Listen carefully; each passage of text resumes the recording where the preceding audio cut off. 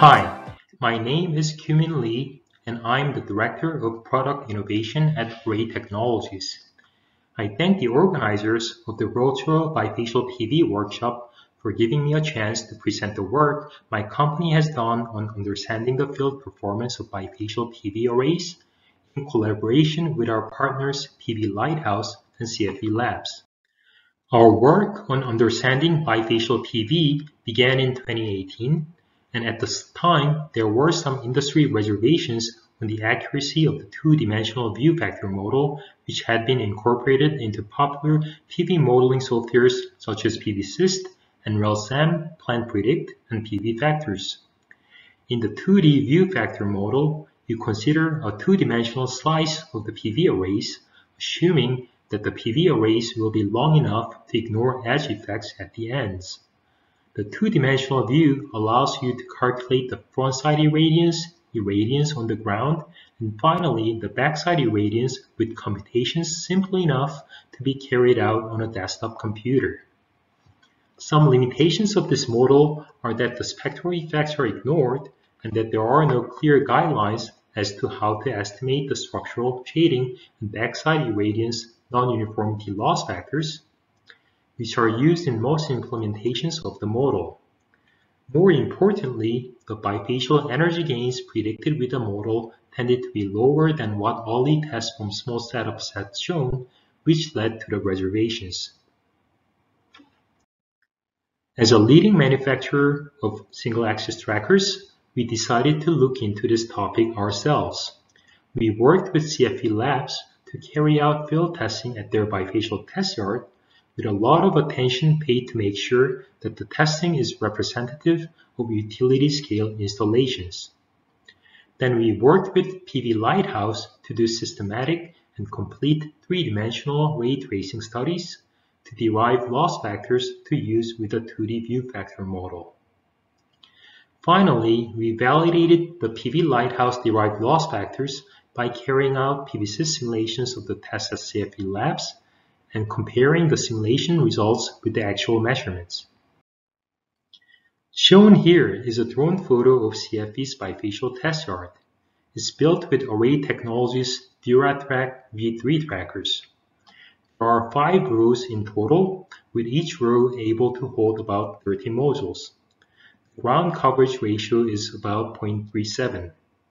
The ground cover is a mixture of light and dark gray gravel, giving an albedo of about 0.3 throughout the year. The string voltage and current data are collected with lab-grade instrumentation developed by CFV. A host of irradiance and weather variables are measured in addition to the string data. There are two key aspects of CFV's bifacial test yard that make the testing accurate and relevant. Only the interior rows are used for the performance testing so that the shading patterns on the ground beneath the test arrays are representative of utility scale installations. Also, even on the interior rows, module seats near the north and south ends are excluded from testing so that the results are not skewed by edge brightening effects. This photo was taken in the fourth quarter of 2018 and it is clearly visible that the modules on the south end see higher ground illumination due to the lower sun angle. Including these modules in the test would bump up the energy gains significantly as had been calculated by Silvana Ayala of NREL in 2018. Now for the ray tracing. What makes PV Lighthouse's SunSolve software unique is that it offers accurate ray tracing down to micrometers. In addition to being able to include three-dimensional module supporting structures such as torque tubes, clamps, and posts, even the microscopic texture at the cell surfaces are included in the ray tracing. The optical properties of all surfaces and media include wavelength dependency, thereby capturing the spectral effects accurately. The PV Lighthouse solution is currently the most physical ray tracing solution available for the PV industry.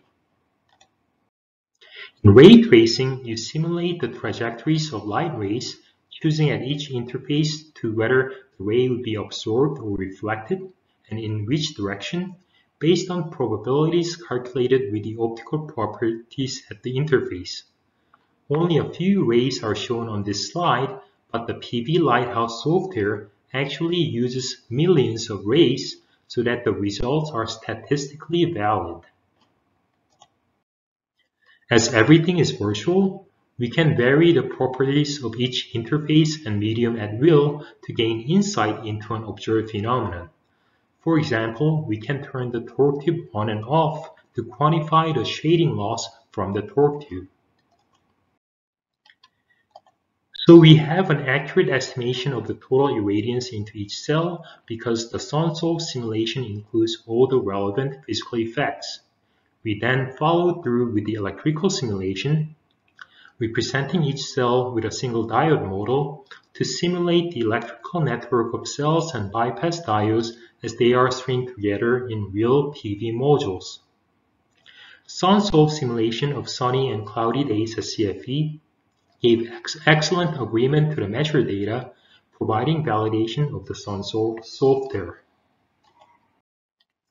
To derive PVsyst loss factors to use for bifacial simulations, we ran SUNSOLVE simulations for a West Texas location with different values for the support structure opacity and the albedo as would be measured by thermopile pyranometers.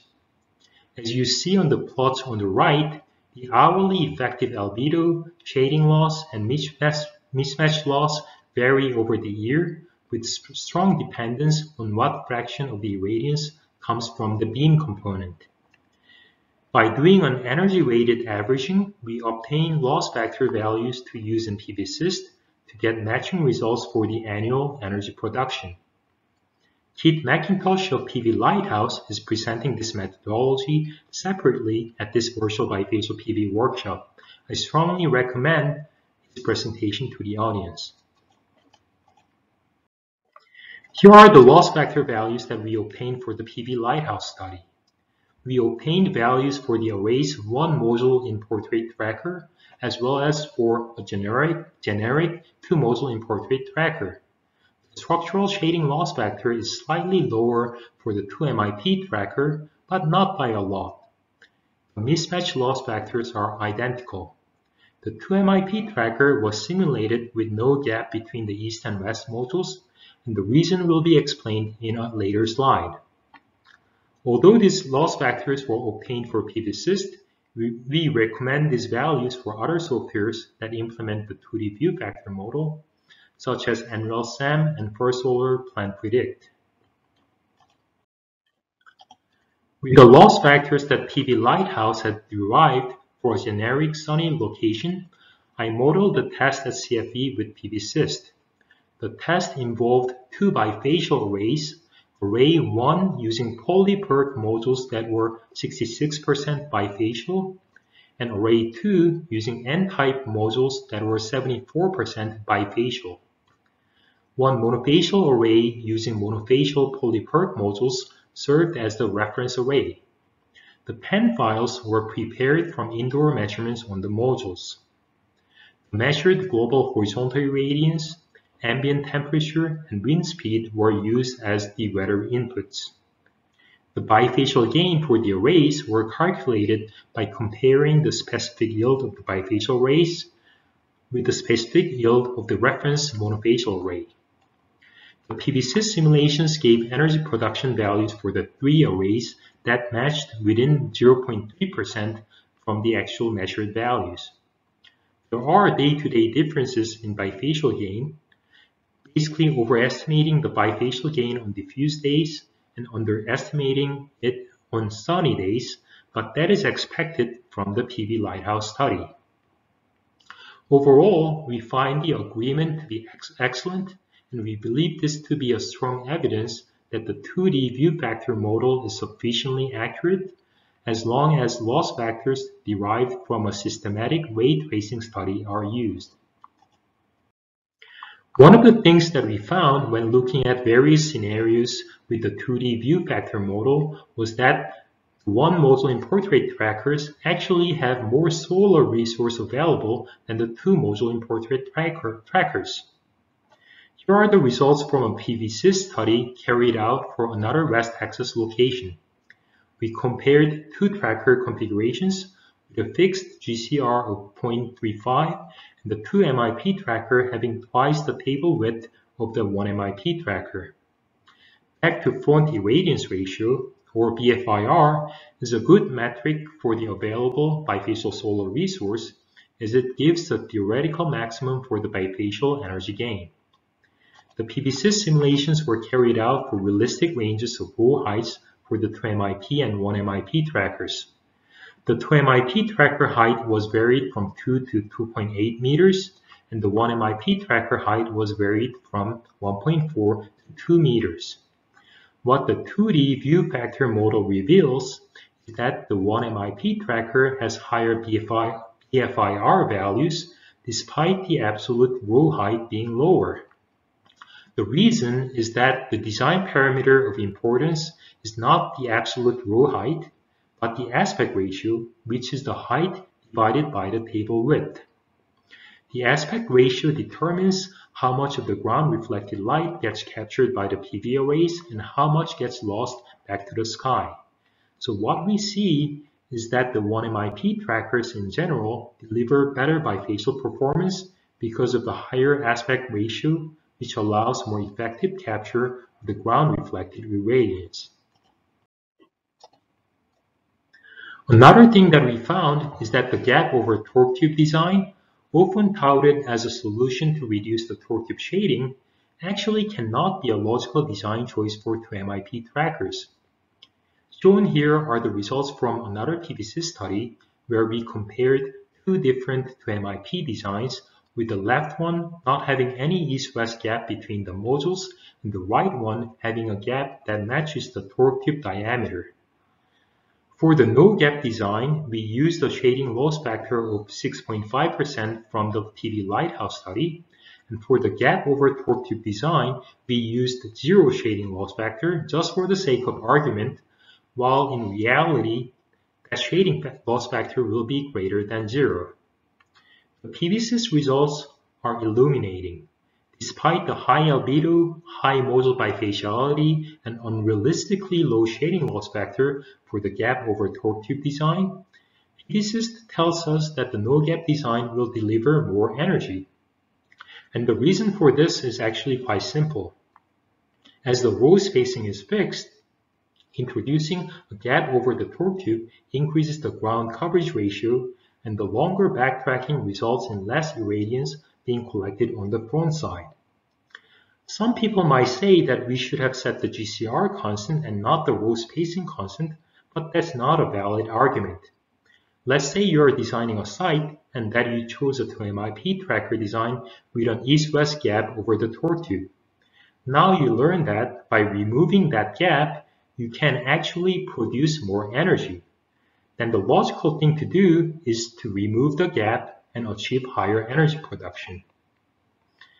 Yes, the structural shading factor increases with a no-gap design to a level similar to the 1MIP tracker. But this is the design that will allow the 2MIP tracker to collect the most irradiance on the front side and thus produce the most energy. To summarize, our field testing results at CFV's bifacial test yard validate the 2D view factor model. The 2D view factor model is sufficiently accurate if the loss factors are calculated from a systematic ray tracing study, as PV Lighthouse has done. There is more bifacial solar resource available with the 1MIP tracker geometry than 2MIP because of 1MIP's higher aspect ratio. Gap over torque tube is not a logical design choice for the 2MIP trackers. Front-side irradiance loss from the increased backtracking outweighs the backside irradiance gain from the reduced structural shading. With that, I conclude my talk. I thank you for your attention.